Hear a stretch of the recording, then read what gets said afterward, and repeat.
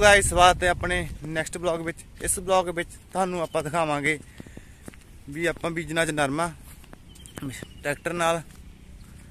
ਤੇ ਅੱਜ ਆਪਾਂ ਚੱਲਦੇ ਹਾਂ ਹੁਣ ਖੇਤ।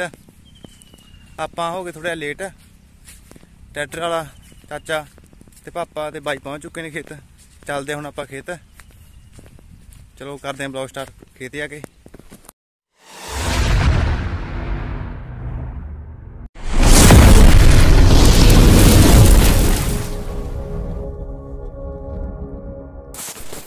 ਗਈ ਆਪਾਂ ਜਾ ਰਹੇ ਹਾਂ ਖੇਤ, ਆਪਾਂ ਹੋ ਗਏ ਕਿਸੇ ਦੁਕਾਨ ਵਿੱਚ ਦੀ, ਇੱਧਰ ਦੀ ਬੂਆ ਨੇੜੇ। ਆਪਾਂ ਸੜਕ ਵਿੱਚ ਜਾਂਦੇ ਤਾਂ ਟਾਈਮ ਥੋੜਾ ਜ਼ਿਆਦਾ ਲੱਗਣਾ ਸੀ। ਹੁਣ ਆਪਾਂ ਪਹੁੰਚ ਜਾਾਂਗੇ 2-3 ਮਿੰਟਾਂ ਅੰਦਰ ਖੇਤ ਦੇ ਵਿੱਚ। ਉਹ ਸਾਹਮਣੇ ਖੇਤ ਆ ਗਿਆ ਆਪਣਾ। ਗਾਈ, ਹੁਣ ਆਪਾਂ ਖੇਤ ਪਹੁੰਚ ਚੁੱਕੇ ਆਂ ਡੈਡੀ ਜੀ ਤੇ ਵੱਡੇ ਬਾਈ ਜੀ, ਉਹ ਸਾਹਮਣੇ ਟਰੈਕਟਰ ਦੇ ਪਿੱਛੇ ਮਸ਼ੀਨ ਨੂੰ ਦੇਖ ਰਹੇ ਨੇ ਕਿ ਬੀਨ ਸਹੀ ਜਾ ਰਿਹਾ। ਹੁਣ ਤੁਸੀਂ ਦੇਖੋ ਮੋਨੋ ਬਲੌਗ ਦਾ ਆਨੰਦ। ਕਰਦੇ ਆਂ ਬਲੌਗ ਸਟਾਰਟ ਦੇਖੋ।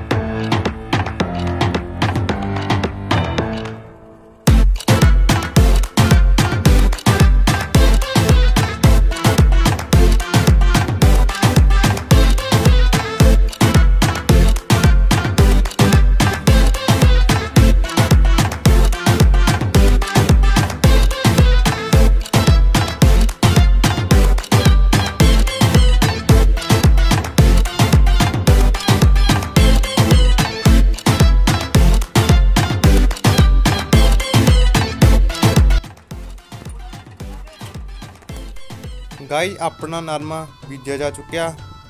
ਡੂਢ ਕਿੱਲੇ ਦੇ ਕਰੀਬੇ ਬਾਂਝ ਸੀ। ਇਹਦੇ ਵਿੱਚ ਆਪਾਂ ਨਰਮਾ ਬੀਜਤਾ। ਟਰੈਕਟਰ ਵਾਲੇ ਬਾਈ ਵਰਗ ਜਾ ਚੁੱਕੇ ਨੇ। ਦੇਖੋ, ਆਪਣਾ ਨਰਮਾ ਸਾਰਾ ਬੀਜਿਆ ਜਾ ਚੁੱਕਿਆ।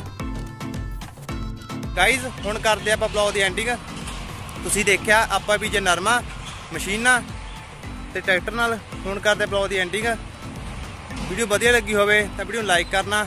ਜੇਕਰ ਚੈਨਲ ਤੇ ਨਵੇਂ ਹੋ ਸਬਸਕ੍ਰਾਈਬ ਕਰਨਾ, ਥੱਲੇ ਵਧੀਆ ਕਮੈਂਟ ਕਰਨਾ, ਮਿਲਦੇ ਨੈਕਸਟ ਬਲੌਗ ਵਿੱਚ, ਧੰਨਵਾਦ।